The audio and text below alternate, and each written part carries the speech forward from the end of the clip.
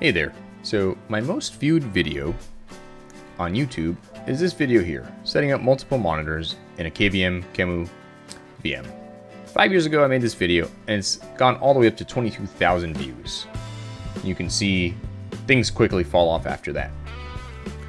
Problem is, I actually needed to have multiple monitors today. I was trying to check and see um, how Fedora with Qtile would work with multiple monitors.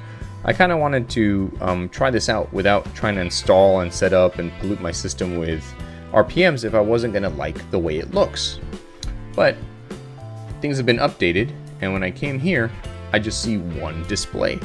I can't make multiple displays as I showed in the video.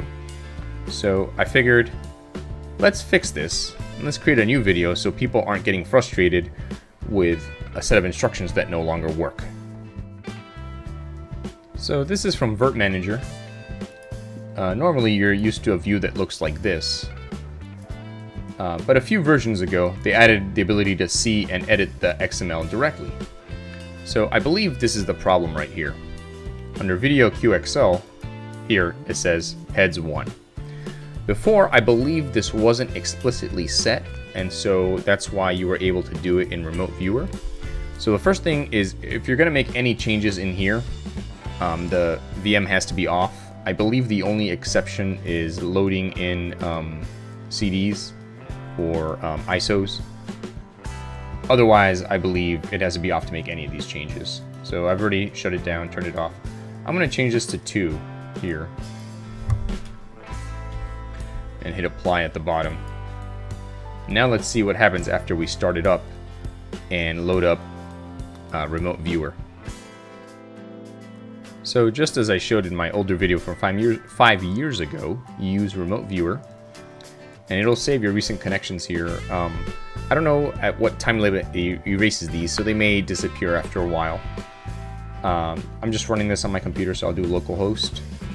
And if you don't explicitly set over, uh, let me show you this over here.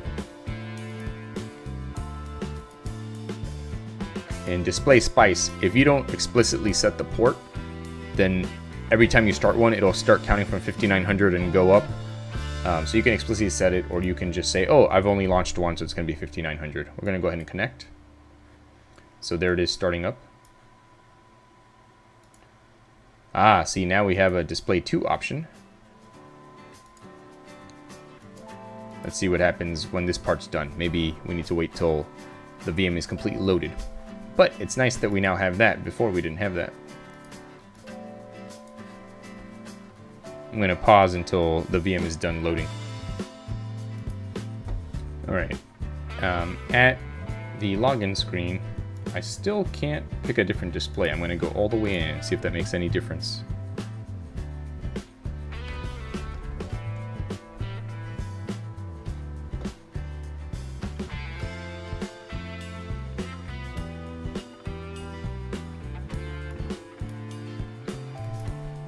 Alright, here we are in Qtile. We still can't select a second display. Alright, so I did a little bit of research. And uh, essentially what was happening is SE Linux was blocking the second display from launching. So I went and I disabled it uh, temporarily just to check, and that did fix it. Um, I'm not sure off the top of my head what policy you need to apply to SE Linux in order to allow it to um, do more than one display. I do know if you're using Cockpit, which is um, a web-based way to administer your system, usually it will tell you what command you need to run if you want to enable something that SE Linux is blocking. But now, when we go into the VM, it launches with two displays. So here are my two displays. Um, and I'm going to shrink them down so they both fit on this um, screen here.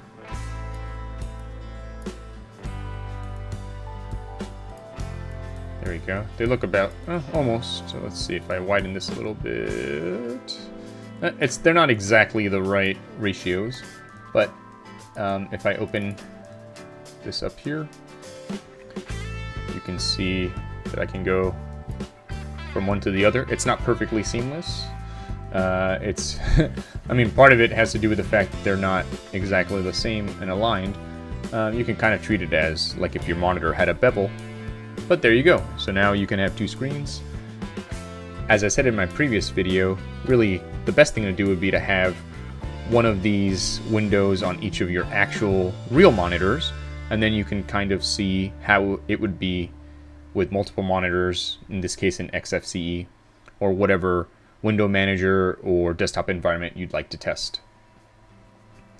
And um, as I believe I mentioned last time, if you uh, want to do this with Windows, instead of changing this to heads 2, you just add another video QXL device. So here add hardware, video, you do QXL, and then you'd be able to have more than one win window in Windows.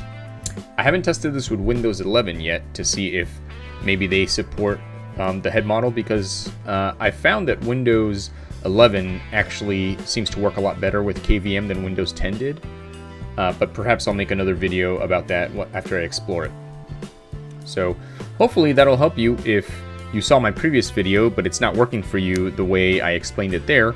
Looks like a few things have changed uh, in the meanwhile, and so this is the way to get multiple um, monitors on KVM now. Thanks for watching. Bye.